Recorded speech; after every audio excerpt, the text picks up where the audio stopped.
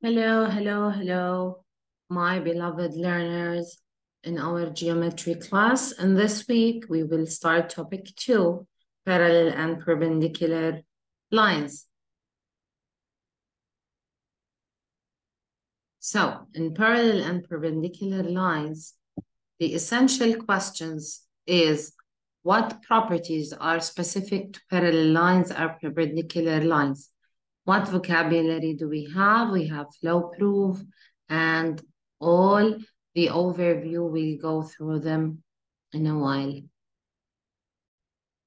Lesson two one is about parallel lines. Let's see what's the essential question here. What angle relationships are created when parallel lines are intersected by a transversal? What does that mean? We'll go through all of that in details. Here you can see that the diagram shows two parallel lines cut by a transversal. These are the two parallel lines and this is the transversal.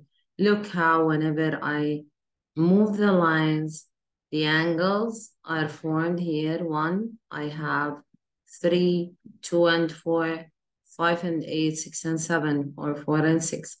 All of these have specific names that we will learn, like two and four are called vertical angles, one and two are called linear pairs, two and five are same side, uh, I mean corresponding angles, three and five are same side interior angles.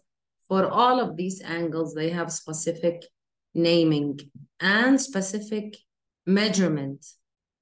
One example is the same side interior angle postulate. If a transversal intersect two parallel lines, then same side interior angles are supplementary. What do we mean by supplementary? They add up to 180. Look here how I will change the reading and they will always be what supplementary. They will always add up to 180, 150, and 30 is equal to 180.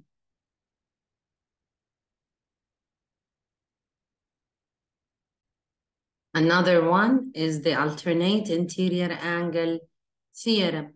They alternate on the transversal and they are interior and within the lines. Like here, alternate is for the transversal the second word is interior because both of them are inside the lines. So they will always measure the same amount. What does the theorem states? If a transversal intersect two parallel lines, then the alternate interior angles are congruent. Let's see the concept summary. Here we have like four relations that we need to go through in details. And then we will practice and practice and practice. I always tell you that practicing is the key to success. In math, math is a skill. The more you practice it, the more you get it. So we will cover many questions in which we will evaluate what we have understood from the book, from other resources. You have also on the BC. And we will get through this easily. Have a good studying. Bye-bye.